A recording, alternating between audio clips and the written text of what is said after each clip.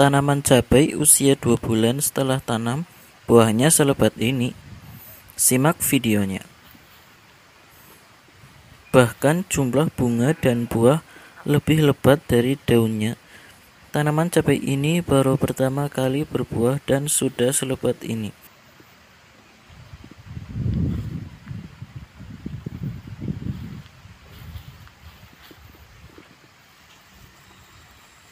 Ini buah cabai yang paling besar dan jika diukur dengan jari besarnya seukuran jari kelingking bahkan lebih besar lagi dan ini masih bisa tumbuh lebih besar lagi.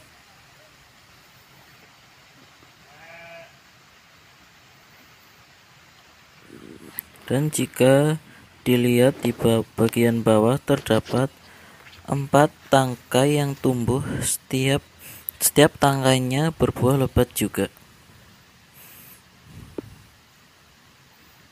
Bagaimana bisa tanaman cabai bisa sesubur ini dan berbuah sangat lebat? Tentu hanya menggunakan pupuk organik. Itulah tanaman cabai yang saya tanam di kebun yang tumbuh sangat subur dan berbuah super lebat. Ini bisa lebih lebat lagi jika kita bisa merawat dengan baik.